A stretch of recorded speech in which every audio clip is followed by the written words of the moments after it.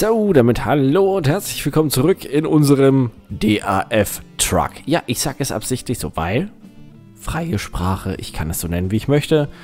Man kann zum Beispiel MAN sagen, man kann MAN sagen, je nachdem, wie man das will. Manche sagen Volkswagen, manche sagen VW. Es ist vollkommen Jacke. Und wenn das einem nicht passt, nur mal so an denjenigen, der letztes Mal so ein bisschen ausgerastert ist. Ich weiß, deine Zündschnur ist anscheinend ziemlich kurz, dein Intellekt auch. Es gibt andere Mittel und Wege, wie du deine Zeit verplempern kannst. Geh doch einfach an eine andere Stelle und such dir da vielleicht irgendwie ein besseres Ventil für deinen, keine Ahnung, was bei dir zu kurz geraten ist. Ja, also keine Ahnung, warum man da irgendwie so ausrasten muss. Aber nee, egal, jedem das seine. Wer das möchte, soll es machen. Oder mein Hinweis dann immer an solche Leute, auch an dich dann, falls du zugucken solltest, nochmal, ähm, mach doch einfach selber Videos. Wer so viel keine Ahnung, was es ist. oh, ich, ich, hasse dumme Menschen, ich kann es immer nur wieder sagen. Ne? Es ist einfach so, so krass, wie viel es davon gibt. Und dass sie sich hier alle bei YouTube rumtreiben und immer der Meinung sind, sie hätten ein Anrecht darauf, ihren Senf überall dazugeben zu dürfen. Aber hey, was soll's. So, wir sind jetzt gerade hier gewesen. Genau, wir haben jetzt, ich muss gerade überlegen, genau, wir haben jetzt hier nämlich diesen Auftrag angenommen. Richtig, da muss ich nämlich jetzt gerade überlegen, von wegen, ja, was haben wir denn letztes Mal gemacht? Aber ich hatte gespeichert, als wir gerade da angekommen waren. Hm, muss ich gerade kurz überlegen. Jetzt haben wir natürlich jetzt gerade eben auch gesehen, uh, uh, wir haben ziemlich viele coole Aufträge. Also zumindest, ähm, was zur Hölle war das? Okay. Hat sich angehört, als ob jemand von außen gegen meine Jalousie klopft. In der das, das Lustige ist, dass ich ja jetzt hier gerade, da wo ich sitze, da ist die Tür zur Terrasse und zum Garten. Da ist ja alles zugezogen, also runtergelassen. Und jetzt muss ich kurz mal gucken, warte mal.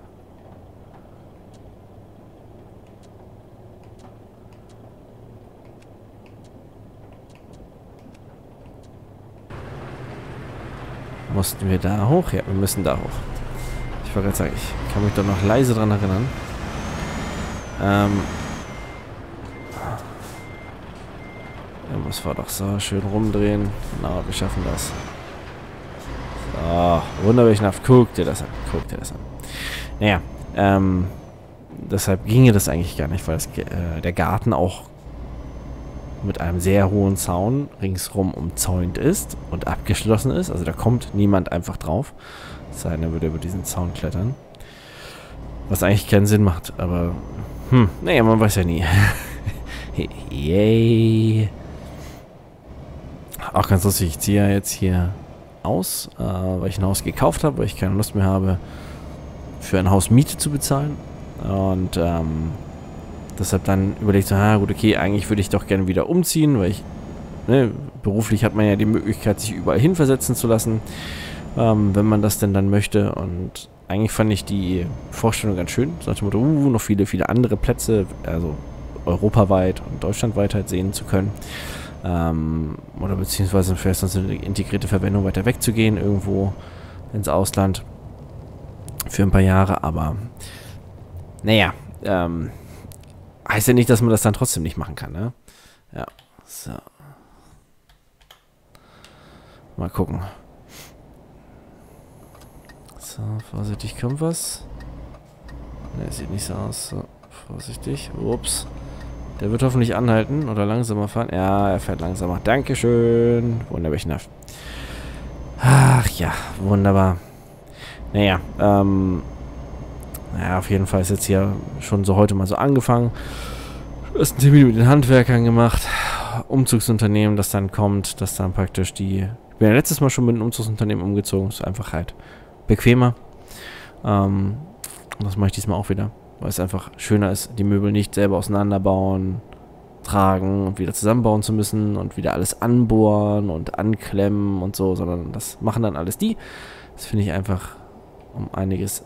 Also ich finde es schöner. Ne? Man muss auch überlegen, es kostet halt auch wieder Geld. Äh, aber ja, ich habe keinen frei. Also ich kriege auch keinen frei von der Dienststelle her. Ähm, von daher brauche ich mir keine Gedanken machen, dass ich da irgendwie die Möglichkeit so hätte, außer abends oder am Wochenende und ja, Wochenende ist sowieso immer rar gesät. Da habe ich dann auch nicht die Möglichkeit, alles zu schaffen. Das würde sich dann Ewigkeiten hinziehen, was ich mir nicht erlauben kann. Also, wird dann da kurz für angeheuert. Ist auch schon geklärt soweit alles mit der einen Firma. Ich habe äh, mir Angebote eingeholt, die verglichen und äh, die, die die besten Eindruck gemacht haben, auch von dem, wie die Be Erfahrungsberichte waren und alles über die Firma. Ähm, muss ich ja ein bisschen informieren, ne? Machte das einen soliden Eindruck. Und ich denke, damit bin ich jetzt ganz gut gefahren. Dann jetzt noch die Tage unterwegs gewesen. Noch eine Küche bestellt. Ja, vorher alles ausgemessen im neuen Haus. Ähm, alles soweit geguckt von den Maßen. Da kommt sowieso noch ein Team rum, die das dann ausmessen. Also so nach dem Motto, so, hm, ja, wir messen das nochmal halt für, auf unsere Art aus. Weil es ja klar, die, die, man selbst ist vielleicht nicht ganz so genau wie die. Das will ich mir auch gar nicht anmaßen, dass ich da so, das so hundertprozentig genau gemessen habe, wie die das brauchen oder wie es halt notwendig ist. Von daher ist es in Ordnung. Es gehört auch alles zum Service damit dazu. Hm, ich weiß gar nicht, ich glaube, es saß zwei Stunden da bei dem Typen. Haben wir zwei Stunden lang die Küche geplant, was ich halt haben möchte, was ich brauche und wie es ungefähr aussehen soll. Und bin eigentlich mit dem Ergebnis sehr zufrieden, muss ich sagen. Also nicht nur eigentlich, sondern ich bin wirklich sehr zufrieden und ähm, auch für den Preis ist es echt super. Klar, also im, Endeffekt, es wäre garantiert, muss ich mal überlegen, ne? eine Küche ist ja so eine Langzeitinvestition. Also so, das kauft man sich eigentlich einmal und dann hält das eigentlich Ewigkeiten. wenn man da nicht umzieht, so häufig, so wie ich das immer mache, ähm, oder gemacht habe vielmehr, ähm, dann bewegt man die eigentlich auch nicht, sondern man kauft sie für die Wohnung, für das Haus, wo man halt gerade ist. Und das wird dann darauf angepasst, abgestimmt und dann lebt man damit. Es sei denn, irgendwann geht mal was kaputt oder es sind doch zu starke Abnutzungsspuren ähm, oder es ist nicht mehr zeitgemäß oder man will was Neueres haben oder was anderes, weil man irgendwas verändern will dann ja. Aber von daher habe ich dann auch gesagt, okay, nee, dann muss diesmal halt einfach ein bisschen mehr Geld angefasst werden. Jetzt, wenn man ein Haus kauft, dann fasst man sowieso ein bisschen mehr Geld an. Und dann ist das im Vergleich dazu natürlich so, so, ja, so Kleinigkeit will ich nicht sagen, aber im Vergleich zu dem, was ein Haus kostet, ist halt eine Küche dann schon so, pff, ja, ne, das, ähm, ist halt so ein Minimalsbetrag im Vergleich zu der anderen Summe. Ja, und ich war echt am Hin und Her überlegen, ne, weil ich überlegt habe, so, hm, okay, ich habe früher ähm, Ikea-Küchen gehabt, war dann auch immer super zufrieden mit, also mir hat das gefallen, ich mag aber generell die Möbel und den, die Art von Ikea, muss ich sagen, also es sind hier relativ viele im, im Haus ähm, an Ikea-Möbeln. Und hab dann überlegt, ja, diesmal auch wieder. Und dann meinte nur ein Nachbar so, hey, hier, ganz ehrlich, fahr mal da und dahin. Ich habe dann meine Küche machen lassen. Und dachte ich mir so, mhm, ja, gut, ist doch näher dran als das andere, also probierst du das mal aus. Und muss sagen, jetzt so von dem, wie es alles ablief, hat es mir sehr gut gefallen. Ähm, Preis ist okay. Also wie gesagt, klar, es würde definitiv noch günstiger gehen. Ich weiß jetzt nicht, ob es da unbedingt bei dem schwedischen Möbelhaus dann günstiger ist, aber es gibt garantiert irgendwo ein anderes Möbelhaus oder irgendwas, wo man das dann günstiger kriegt. Aber ob man das dann so angepasst an die eigene Küche bekommt, ähm, weil zum Beispiel ist es jetzt bei mir so, dass die Küche U-förmig ist. Ähm, und an der unteren Seite des Us praktisch, ne, an, an dieser Geraden, da sind zwei Fenster, weil das ist dann halt so nach vorne raus entsprechend, ne, zur Straße hin und da wollte ich halt auch eine Arbeitsfläche haben. Da ist aber auch ein Heizkörper. Das heißt, da wird dann einfach anstatt dem, ich habe jetzt überlegt, ja, lässt man den Heizkörper abklemmen, das ist aber irgendwie, irgendwie auch kacke. Ähm, Heizkörper abklemmen, gut, wäre jetzt nicht so teuer. Ne, das, das ginge noch. Ähm, aber ja, irgendwie eine doofe Sache. Was ist, wenn du dann doch mal die Heizung brauchst, ne? Ja, also lässt es dran. Gut, dann ist die aber auch im Weg, weil die frisst ja halt auch Platz, ne? Also die frisst ja Raumtiefe. Ja, und das ist dann einfach so, ähm, weil man sowieso nie genug Arbeitsfläche hat, dass dann halt die Arbeitsplatte da ähm, praktisch um die Länge und halt ein paar Zentimeter Luft ringsrum einfach länger gezogen wird. Also dass die ganzen Sachen weiter reinkommen in den Raum. aber trotzdem die Arbeitsplatte halt bis hinten an die Wand rangeht. Also hat man praktisch mehr Stellfläche insgesamt. Ja, und dann waren solche Sachen, weil ich ähm, finde das halt immer kacke mit den Steckdosen. Hier zum Beispiel in dem, in dem Haus hier ist es so gelöst, dass die äh, Steckdosen sind hinter den Schränken oder oben drüber. Und oben drüber ist halt mal doof, wenn du irgendwie sowas wie eine, einen Kaffeeautomaten anschließen willst. Ist halt keine Steckdose da. Und da haben es die vorherigen Bewohner so gemacht, die haben halt eine Verlängerungsschnur mit ähm, Klettband. Am Fliesenspiegel ist hier, sind hier solche ähm, Platten, die halt angebracht wurden als, als so eine Art Fliesenspiegel. Finde ich auch hübscher, ehrlich gesagt, habe ich jetzt auch für die neue Küche so gewollt, weil ich finde das auch ganz schön.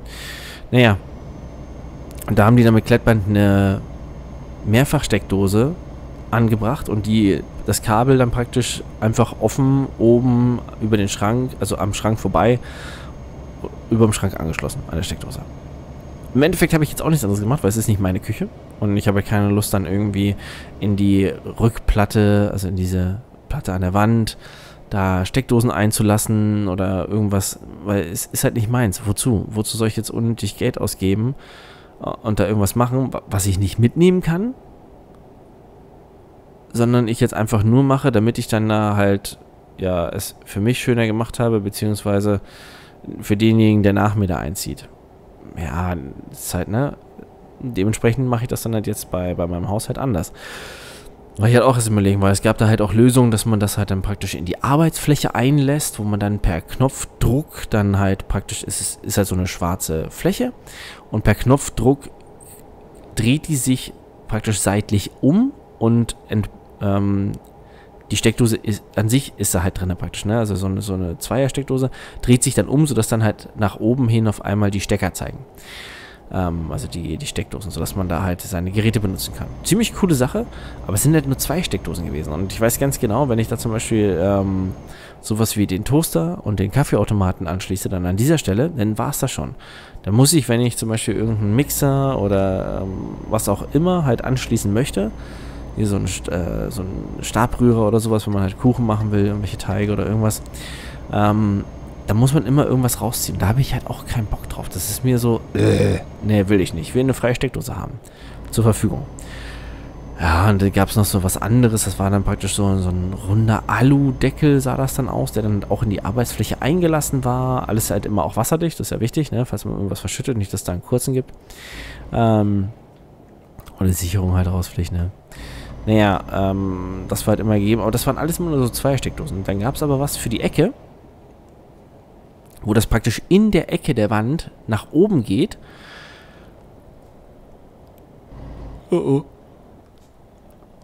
Und dann aber drei Steckdosen bietet. Und das war dann so, hm, ja gut, okay, drei Steckdosen. Ja, das ist okay. Da, das sollte funktionieren. Und das ist dann ausreichend, weil dann eigentlich mehr als zwei Geräte in jeder Ecke nie angeschlossen werden ist dann halt in jeder Ecke eine Steckdose übrig und das, das ist in Ordnung, definitiv. Also es gab das auch noch, ja, es, es sah nicht schlecht aus, muss man sagen. Ne? Es gab noch so eine Lösung, da war dann praktisch über diesen Dreier-Steckdosen war dann ähm, nochmal so ein großer schwarzer Bereich, nochmal genauso groß. Das war dann ein Lautsprecher ähm, mit Lautstärkeregler. Ja, also kein Radio drin, aber halt ein Lautstärkeregler war drin ähm, und USB-Anschlüssen. So dass man dann halt zum Beispiel ähm, sein Smartphone anschließen konnte, damit man dann Spotify oder was auch immer dann entsprechend darüber hören kann. Ich weiß nicht, ob es Bluetooth hatte, weiß ich gar nicht. Ähm, aber das fand ich, fand ich unsinnig, weil dazu kann man sich dann einfach zum Beispiel so ein Echo hinhängen oder sowas. Oder hinstellen. Das finde ich dann irgendwie sinniger. Also warte mal.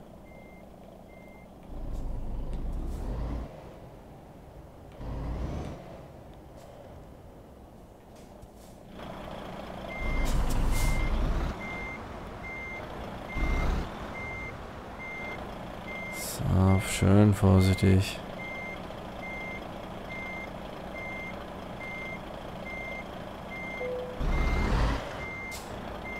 Wunderbärchenhaft. Perfekt, würde ich sagen. Ne? So, wir müssen gleich hier noch wegfahren. Da wir nicht dran, das dürfen wir nicht vergessen. Ach ja, sehr gut. So, wunderbärchenhaft. Bisschen Geld haben wir auch eingenommen. Aktuelle Aufträge der Firma. Wir gehen erstmal fortfahren. So, wir sind jetzt momentan, keine Ahnung, wo sind wir denn jetzt hier? Wo sind wir denn? Muss doch gleich mal gucken. Naja, auf jeden Fall merkt man, es ist etliches zu tun. Und das mit der Küche, dass das so lange dauert, eine Umzugsfirma. Ja. Was haben wir denn hier? Also nichts Interessantes, muss ich sagen. Ähm, haben wir was nach Hamburg? Nach Kiel haben wir was. Das ist da oben. Gibt's, ja, in Kiel gibt es garantiert auch schöne Aufträge. Was haben wir in Hannover momentan? Kiel. Ja, fahren wir nach Kiel, würde ich sagen. Ja, ich finde Kiel ganz gut. Das bringt auch am meisten im Moment, ne? Ich glaube, das ist dann sogar hier. Also würde ich spontan mal so sagen. Schaffen wir was rum? Ach, super. So. Aber wir müssen erstmal eine Ruhezeit einlegen und tanken, oder? Was sagt der Tank?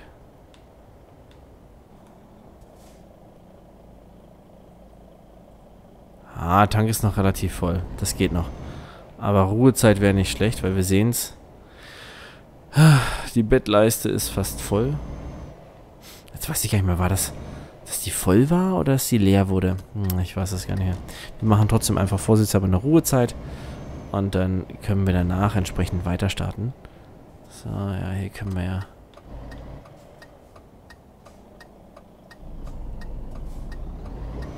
Das war vielleicht ein bisschen ungestüm, wie wir hier drauf gefahren sind. So. Ja, ja, lass mich doch erstmal hier... Also, so, jetzt äh, und dann einmal rasten. Sehr schön. Ist ja auch wichtig, ne, dass wir uns hier Gedanken machen. So, neuer Auftrag ist schon da. Beziehungsweise gucken wir jetzt mal, was es aktuelles gibt. Guck mal, schon viel größere Auswahl. Das wäre natürlich nicht schlecht, ne? Mit hier 27 Euro pro Kilometer. Ja, natürlich schon eine coole Sache und lässt sich auch relativ easy fahren. Gut, machen wir mal als Ziel rein. Dann würde ich sagen, sehen wir uns beim nächsten Mal wieder.